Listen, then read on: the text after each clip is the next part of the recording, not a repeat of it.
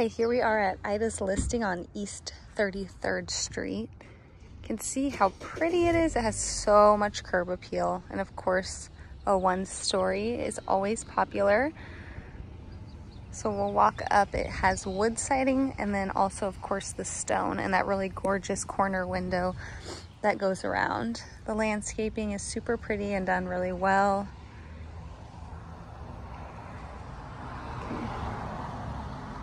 We will head on inside. You can see they have those downspouts going away from the house right there. And then this one is being funneled away from the foundation also. We'll walk on inside. Right when we walk in the house, you can see there's this really pretty stone when you enter. And right off to the left is the kitchen area and off to the right is like a formal kind of living space. We are on electric, so you'll also see these heaters on the floor here, and there's also oil. So we'll start over on this side of the house. I absolutely adore this window. It looks so pretty. And the neighbors came over, they're super friendly. They're like, we just landscaped our yard, so it looks really pretty over there when you look out and you see this tree. And these houses have a really well-maintained landscaping. And then here's a look at that house across the street.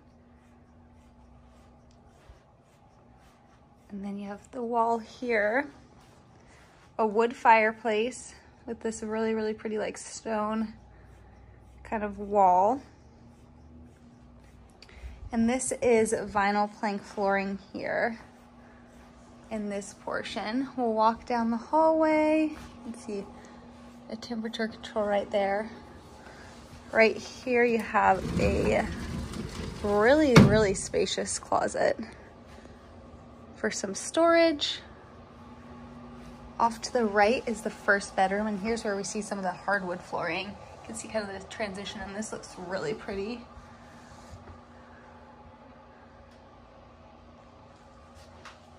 Open the closet in here. Fairly standard bedroom. And then we'll go off to the left and you have the bathroom, which has a step-in shower, that tile, and then the vanity here. We have a very blue theme going on. And then you have another shower, but it's the fiberglass tub.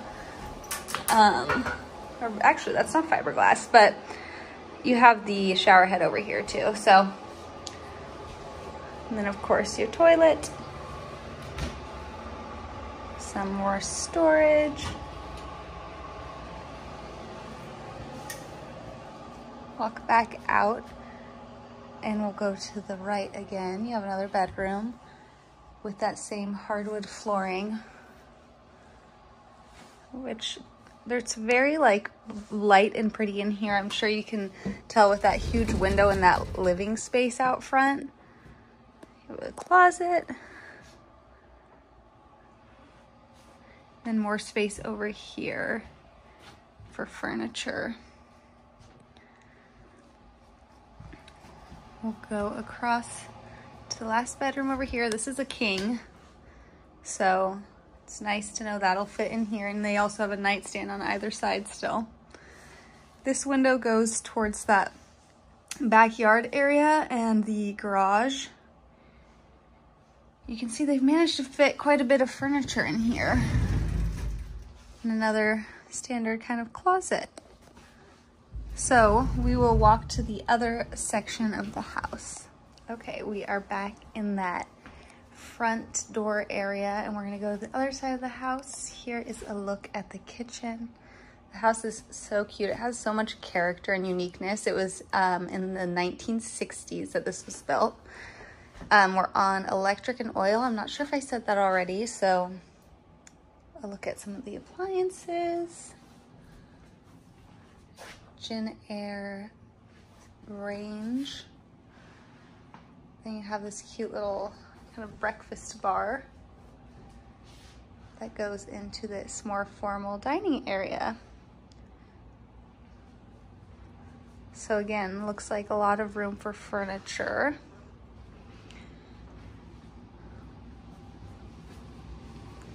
This little section over here has this older accordion style door. You have the washer and dryer. Then just more counter space and storage.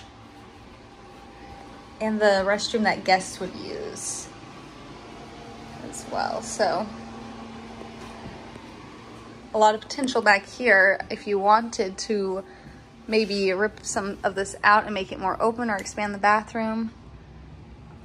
Could potentially do that. And then this massive bonus area. Another wood fireplace.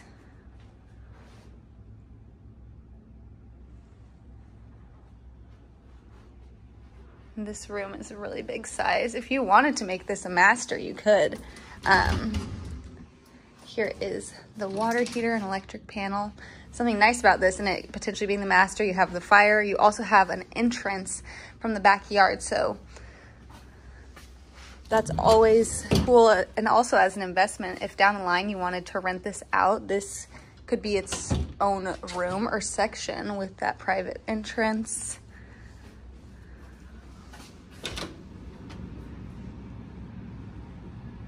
Little heating system there. And this door going out onto the patio area.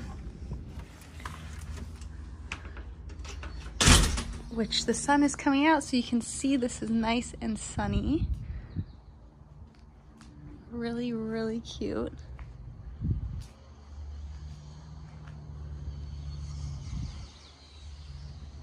Very private back here and such a great space.